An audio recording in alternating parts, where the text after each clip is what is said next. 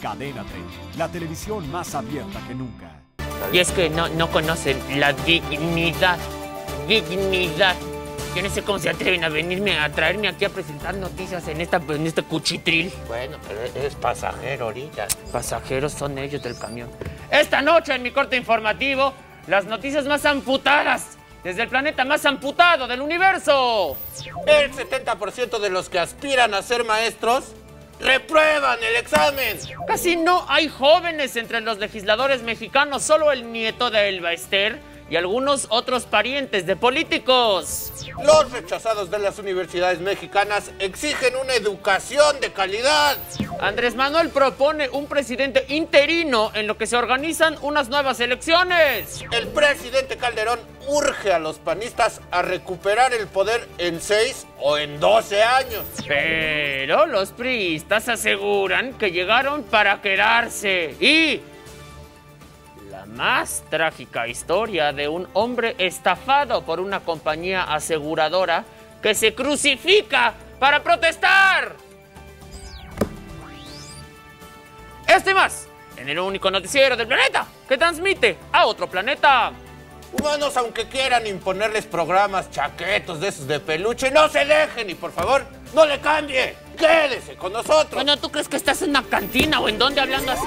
El gobierno global del planeta Micón envió una delegación de micos a contactar a un extraño planeta que desde hace poco nos envía mensajes y transmisiones. Una valiente tripulación fue lanzada al espacio para contactar y traernos información de otros planetas en voz de los tres periodistas más respetados del planeta Micón. Simeón Monarres, reconocido periodista y conductor del noticiero más serio de Micón.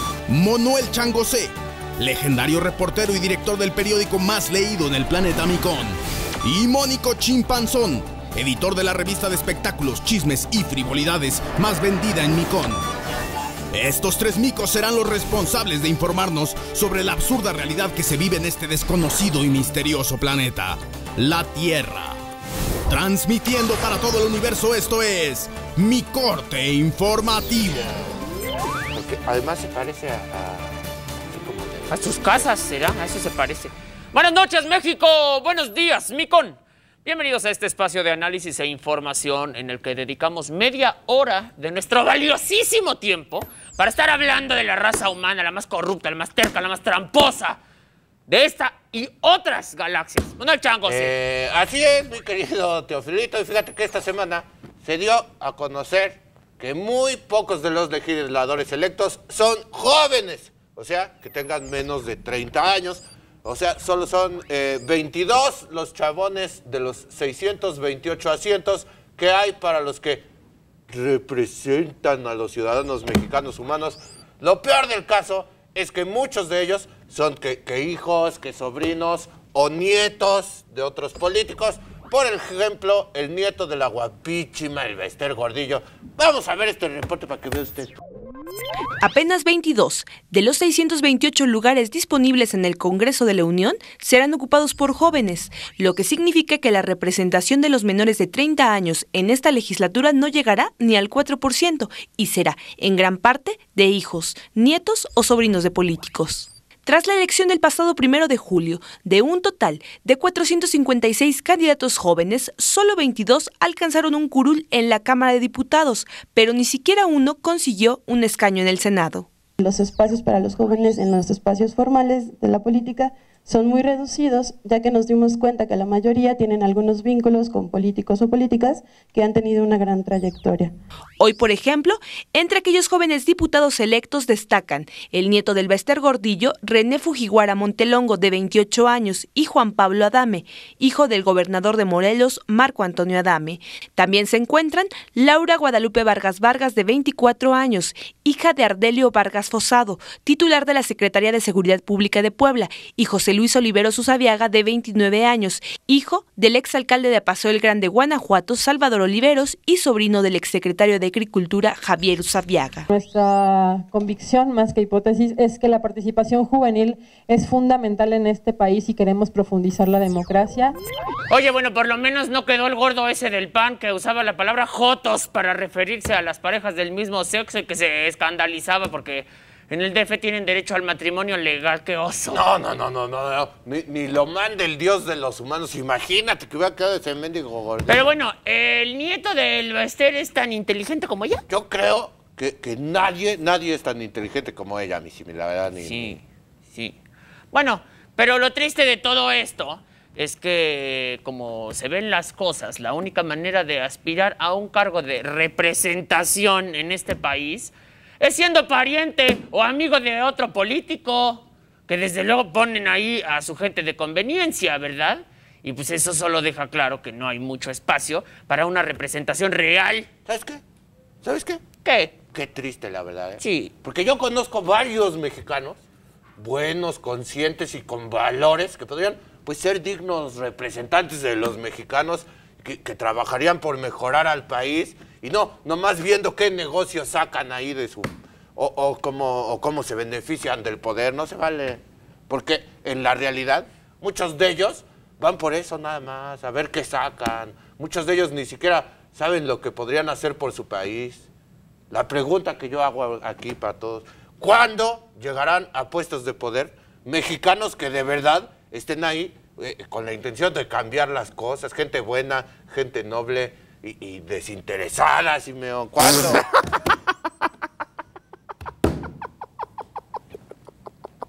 Ay, no, perdón, ahora sí.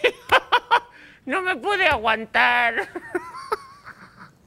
Te volaste la barda, ahora sí de veras. pues qué. De veras, ¿no? Sí, hombre, pues claro que no, hombre. Dejarían de ser humanos antes de dejar de ser como son. Bueno, pues ya, ya lo- lo- ¿sabes qué? Chale, la neta ya. chale. Bueno, ya. En más noticias para llorar de tristeza, si es usted mexicano, claro, y para llorar de la risa, si es de cualquier otro país o planeta, déjeme le cuento que la SEP, o sea, la Secretaría de Educación Pública de este piojoso país, dio a conocer que el 70% de los humanos que hicieron el examen para tener una plaza de maestro reprobó. Según datos que presenta la Secretaría, fueron 134.704 los que hicieron el examen. De esos, 94.292 reprobaron. Y solo 40.412 obtuvieron más de 60 respuestas correctas. Ahora, lo más raro de todo es que por las disposiciones oficiales eh, propias de la CEP y del sindicato del Vita, mi amor, qué buen trabajo estás haciendo, hay casos en los que un profesor que solo obtuvo 30 aciertos de 100 fue considerado apto para dar clases y le dieron su plaza. O sea, a ver, esto contradice todo el sistema educativo. O sea, los profesores los aprueban con un 3 de calificación, pero los alumnos los reprueban con un 5. Pues Yo no entiendo nada. O sea, las estadísticas de la prueba revelaron que de todos esos cientos de miles que tomaron el examen, solo 309, que representan el 0.2%, sacaron 10. ¡Solo 309! Y estaban ofreciendo 18 mil plazas. No, no son aptos ni para trabajar en el Oxxo esos. Híjoles, el dato más desolador, sinceramente, que a mí más risa me da, es que 75 humanos no acertaron ni una. No puede. ¡Ni una! ¡Ni una sola! ¡Ni una sola! ¿Cómo van a hacer un examen para si no aciertan una sola de las respuestas? ¿Cómo se les ocurre, humanos? Por favor, ¿en qué están pensando? Es que eso es justamente lo que está pasando. No, no están pensando en nada, mi Simi. O sea, ¿tú crees que si estuvieran pensando elegirían al nieto del Bester para que los represente? ¿Tú crees que si estuvieran pensando no hubieran ya cambiado el mendigo sistema educativo de este país? Nadie está pensando, Simeón. Todos están ocupados haciendo otras cosas. Unos están viendo este programa, otros viendo eh, los programas peores que pasan en otros lados. Otros están haciendo tranzas, otros están en internet viendo pornografía. Otros están robándose algo. Unos más están pegadotes ahí a un videojuego. Otros andan haciendo... En fin, en fin. Nadie está pensando, ni modo que esté ahí este, sentados en el trono y pensando. Bueno, pues para aprovechar que nadie está pensando, Vamos a ir mejor a un corte comercial para que después vayan corriendo a comprar lo que les anuncien y luego vean y se decepcionen y luego regresen a mi corte informativo, su noticiero consentido. Oye, ya, de plano, ¿tú crees que estos humanos no tienen ningún remedio? Pues mira nomás este foro, tú me dirás. O sea, no lo han terminado, mira nomás esto, ¿cómo está? ¿Tú crees que tienen remedio? A ver, dime tú. ¿Tú crees que tienen remedio? Dímelo tú. ¿Crees que tienen remedio? Dímelo tú. ¿Y sabes cuál digo el de? Cítate por una superación social. Agradecemos al ingeniero Pescador por su presencia en nuestra reunión, ¿no? Me, me, me mareé de las... Bueno, ya regresamos a mi corte informativo y déjeme le cuento que esta semana hubo una movilización de estudiantes que se quejan de haber sido rechazados de las universidades públicas. Aspirantes rechazados de las universidades públicas continúan sus protestas y movilizaciones para exigir a las autoridades alternativas ante esta situación que ha dejado a cerca de 500.000 estudiantes fuera de las universidades a lo largo y ancho del país. Hice mi examen eh, la, la vuelta pasada y esta y pues no me he quedado porque piden muchos aciertos y pues la verdad son muy poquitas plazas ¿no? las que se abren para que uno pueda ingresar a las universidades públicas.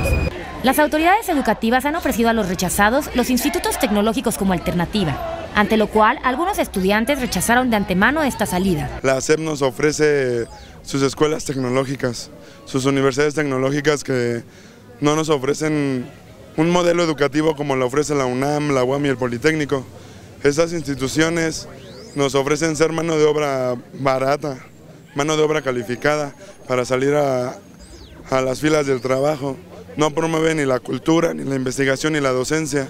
Y es que para algunos, los institutos tecnológicos no ofrecen carreras en todas las áreas del conocimiento y tampoco cumplen con funciones de investigación y difusión de cultura, por lo que no gozan de mucha preferencia entre aspirantes a la educación superior. El gobierno ha construido muchas universidades pero no quieren ir los jóvenes a esas universidades porque son universidades que de dos años, carreras de dos años, eh, universidades tecnológicas, que no recogen toda la experiencia y, y, lecciones de más de 100 años de este modelo universitario, de universidad pública, autónoma, participativa. El movimiento de aspirantes de educación superior planea continuar con movilizaciones y presionar así a las autoridades para que abran nuevas plazas. La verdad que qué fuerte la declaración de esta chava que se queja porque exigen muchas respuestas correctas en los exámenes. O sea, Pues es que esa es la onda, mi Simi, que los chavos ya no le encuentran sentido al sistema educativo. O sea, ¿tú crees que les enseñan cosas interesantes en las escuelas mexicanas? Si fueran cosas interesantes y aplicables a la vida diaria, para ser un humano más chido o para algo, para lo que tú quieras. Pero los enseñan como loritos que Benito Juárez nació en Guelatao, que los nombres de los ríos, que las capitales de los estados, que los quebrados, que las ecuaciones, que la tabla periódica de los elementos. Tú dime, tú dime de verdad, ¿qué? ¿Qué? De, de todo eso que les enseñan, usa un mexicano promedio con un trabajo promedio, o para qué les sirve en su vida cotidiana todo eso que les enseñan en las mendigas. No, no, no, no, no, no, no, no, no, no, no, pero eh, no es eso de lo que yo estoy hablando, yo hablo de otra cosa, o sea, esta mujer ni siquiera entiende por qué tiene que responder bien un examen. Eso ya es, es un total desinterés, es, es, es, un total desconocimiento de de, de, de, de, de todo. Bueno, bueno, eso sí, la neta, ¿eh? Sí. ¿Y ya? ¿Esto es lo que vas a decir eso? ¿Es toda la respuesta que me vas a dar? Pues es que, es que cada, cada que hay examen a las universidades públicas, regresa esta noticia a los noticieros. O sea, esto nosotros lo hemos reportado ya varias veces en lo que te- y, en los casi tres años que llevamos al aire. No se ha anunciado la creación de, más universidades públicas o, o campus de las que ya existen. Debería de haber una universidad en cada colonia o, o en cada pueblo. Sea, no tiene que ser tan grande como la UNAM, así con un campus gigante y majestuoso y estadio y toda la cosa. Con unos cuantos salones y, y ya con eso y que se les enseñe a ser humanos con valores, Simeón, humanos con principios, que se les enseñe a construir una mejor sociedad desde la primaria, que se les enseñe lo que los padres no les están enseñando a sus hijos, que el país está lleno de lacrosos, corruptos, hojaldras, desde hasta abajo hasta hasta arriba. Como Ya, ya, ya, letrina. ya, ya, ya, ya, ya, ya, te chiflas, de veras. te- o sea, Yo más bien insisto en lo mismo. Pareciera que no les interesa ni a los estudiantes estudiar, ni a las autoridades darles estudio. Es cosa de los dos. No, pues si no se ve para cuándo mejore la educación en este país, mi Simi. Como si no se hubieran dado cuenta ya de veras que es la única manera de sacarlo adelante. Pero, en fin, eh, en más noticias, resulta que el presidente Felipe de Jesús Calderón Hinojosa se reunió en esta semana con consejeros de su partido a quienes le señaló que el objetivo es regresar al poder en los próximos 6 o 12 años. El mandatario federal dijo que se siente obligado ética y políticamente a mantener activo su trabajo para que el país logre la plena democracia que el PRI no garantiza. Fíjate nomás. Ah, bueno, pero pues luego, luego, luego, luego, luego saltaron de aquel lado y que le replican al presidente. En este caso fue Francisco Labastida, quien perdió las elecciones federales eh, ante Vicente Fox en el año 2000. El priista dijo que de plano, que el PRI llegó para quedarse.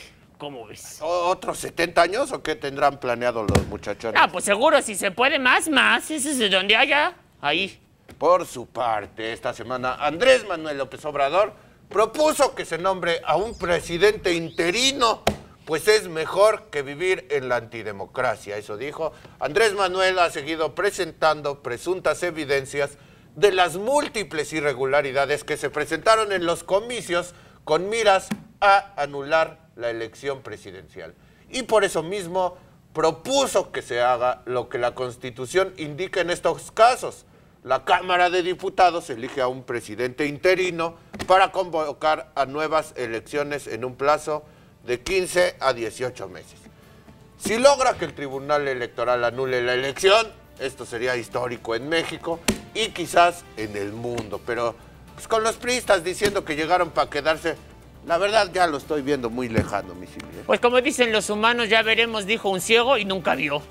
Así que mejor vamos a ir a un corte comercial, pero ya regresamos a mi corte informativo, su noticiero consentido. ¿Y alguna vez han nombrado a un presidente interino allá en mi corte? Por supuesto que no, mi Simi. Pues allá las elecciones no son, no son el circo que son acá. Allá nadie está impugnando porque nadie ah, está viendo cómo hacer tranza. O sea, allá, eh, más bien, allá no existe la tranza. Y acá los más tarados, que son casi, casi todos, dicen que el que no tranza no avanza. ¿Cómo lo ves? Ay, no. Ahora sí va a ser la última vez que vengo. Si no, está mi foro puesto como Dios me quito más. Pero también tú tienes... Bueno, pues es que si no presiona a uno, si no alza la voz, pues ¿quién lo va a escuchar? Pero entre que uno no contesta, el otro está de vacaciones. Pero no, que espérenme, no, pues no se puede.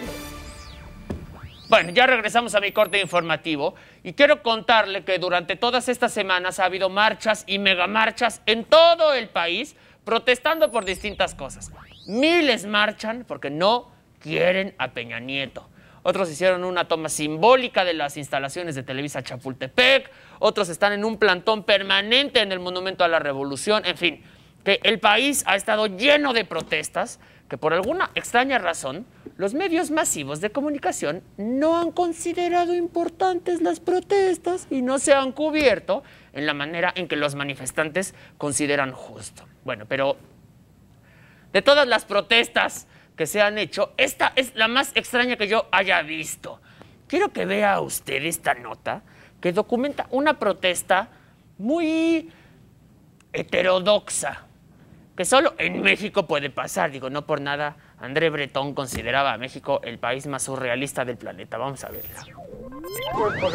En el puerto de Veracruz, un señor se crucificó con todo y clavos. Se trata de Sergio Vargas, quien lo hizo como protesta porque supuestamente una empresa aseguradora se niega a pagarle todos los daños que su vivienda sufrió con el huracán Car hace dos años. Fui fenestrado por la inundación que provocó el huracán Car, pero mi casa está asegurada. ¿sí? por un millón de pesos y la empresa se niega a pagarme. ¿sí? O sea, está toda cuarteada, supuestamente eh, tiene daños por 750 mil pesos, el seguro cubre hasta un millón de pesos y ellos me quieren dar 60 mil. Entonces, no se los acepto. Sergio fue atendido por paramédicos de la Cruz Roja Mexicana, pero advirtió que se mantendrá crucificado y en huelga de hambre hasta recibir una respuesta favorable. Hasta que el cuerpo aguante, no voy a comer, no voy a tomar agua, es huelga de hambre, voy a estar clavado. Y yo le decía a alguno de los muchachos que la apuesta aquí es ver qué termina primero, las Olimpiadas mi vida. Punto. Yo sé que a partir del viernes todo va a ser Olimpiada en los medios de comunicación. Bueno, yo aquí voy a estar. Allá que ellos van a luchar por ganar medallas, voy, yo voy a luchar porque me paguen, ¿verdad? Y si me muero antes, pues bien muerto, ¿no? Además, solicitó la intervención de las autoridades para que obliguen a la aseguradora a cumplir con el contrato. Oye, pues lo peor es que no es surrealista, es lo más real de lo más real, mi señor. A ver, pero a ver, a ver, yo no entiendo.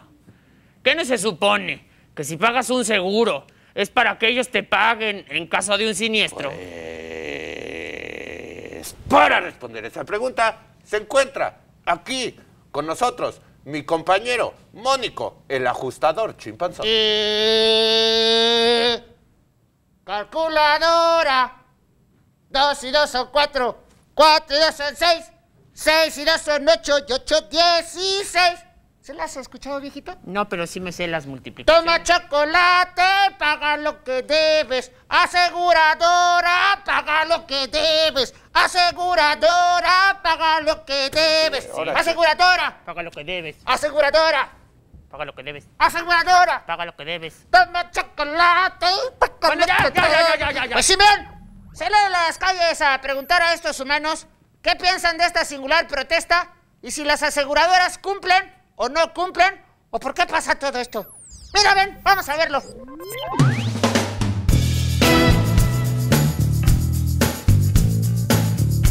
¿Tú qué has escuchado de las aseguradoras? ¿Sí pagan, no pagan?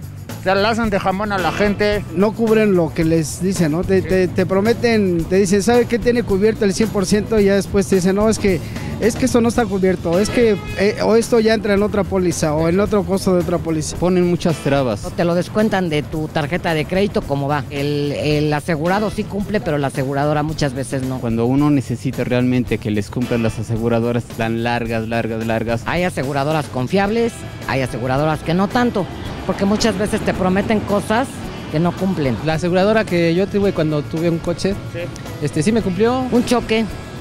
Ajá, y para empezar nunca llegó el gestor y se quedó con su golpe y, y lastimada. Lo que yo sé de- en cuanto a las coberturas te cubre realmente lo que viene por contrato. Te dicen que eso no estaba incluido en la póliza y tú estás pagando y te dicen, ¿sabes qué? Tienes esta cobertura y esta y esta. Y, al- y la verdad de los hechos es que no es así. ¿Y qué opinas del señor que, pues, de plano tomó esta, pues, esta decisión de, de lastimarse para poder exigir algo que le tocaba al señor? Tenemos nosotros como ciudadanos que no somos escuchados, este, llegar a ciertos extremos, lamentablemente. Y la desesperación te lleva a hacer cosas muy extremas. Pues no, no está bien, pero sí es la última consecuencia, pues siempre a ver si las autoridades le hacen caso. Claro que la aseguradora tuvo la culpa y es, fue algo muy grave, ¿no? No, es, no hay que llegar a esos extremos, ¿no? Asegurarse significaría estar bien, no llegar a ese tipo de, de acciones. Pues es un perfecto reflejo del sistema en el que estamos viviendo, ¿no? Ya para que lleguen a ese extremo. Ya... No le van a hacer caso por darle el millón. Sí le van a hacer caso. El señor, fíjate lo que tuvo que llegar, luego a veces te quedas sin nada en la calle, mano. Si él decidió crucificarse porque el contrato se lo estaba respaldando y le dan 60 mil pesos, es una forma de llamar la atención. Que los medios se den cuenta, que lo muestren en televisión, en radio. A veces en ese momento es cuando la gente empieza a, a pagar. Acuda a las instancias necesarias para que le resuelvan. La Conducef no hay otra. ¿Confías en las aseguradoras o no es importante estar asegurado?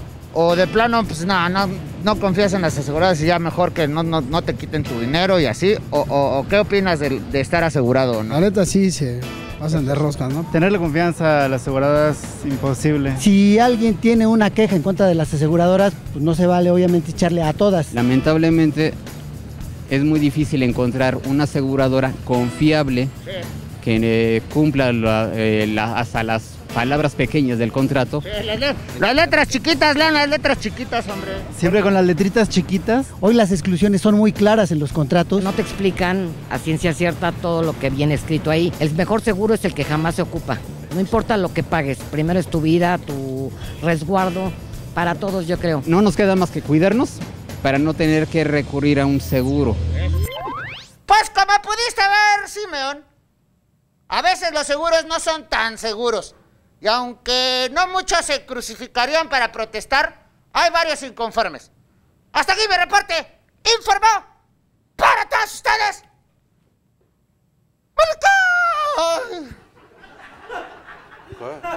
Sí. ¡Mónica! ¿Qué pasó? Es que ayer me las eché muy frías. Oye, men, no puedes estar diciendo eso en televisión. Ya sácate, ándale. Chimpanzón. Bueno, pues muchas gracias a mi compañero Mónico Chimpanzón por este informe. Y muchas gracias a usted por acompañarnos en otra edición estelar de mi corte informativo. El único noticiero del planeta que transmite a otro planeta. Buenas noches, buenos días. Oye, oye, mi la verdad no, no está tan mal este foro, ¿no? Como que, como que parece entre carpintería y foro. Debíamos ponerle unos pósters así de muchachonas en bikini de, de- Mira, mientras no pongas uno de esos que nos meta luego en problemas, de los que mandaron quitar. No, no, ese de mi cuarto no lo saco, ese me encanta. Ya se quedó pegado de una esquinita bien feo. Cadena 30, la televisión más abierta que nunca.